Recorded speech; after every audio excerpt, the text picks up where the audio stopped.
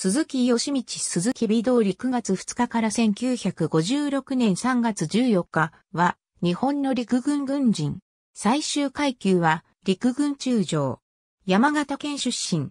山形中学を経て1902年11月陸軍士官学校を卒業。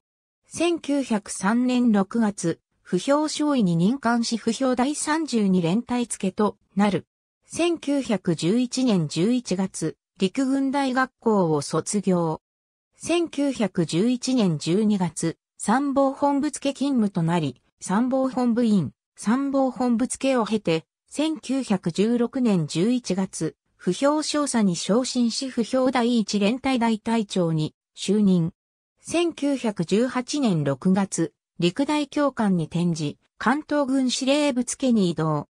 1921年4月、不評中佐に進級。同年7月、吉林特軍軍事顧問に就任し、1923年8月、不評大佐に昇進した。1924年3月、不評第62連隊長に移り、不評第2連隊長、参謀本部課長、陸大教官を歴任。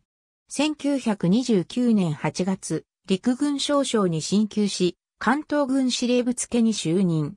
1931年8月、不評第四旅団長となり、満州事変を迎え、混政第四旅団長として出動。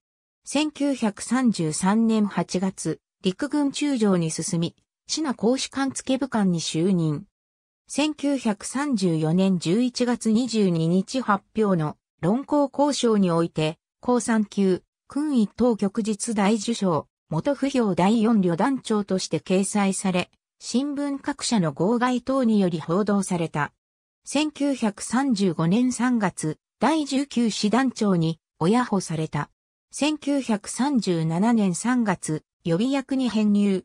1941年12月、新民会副会長となり、さらに同会最高顧問を務めた。ありがとうございます。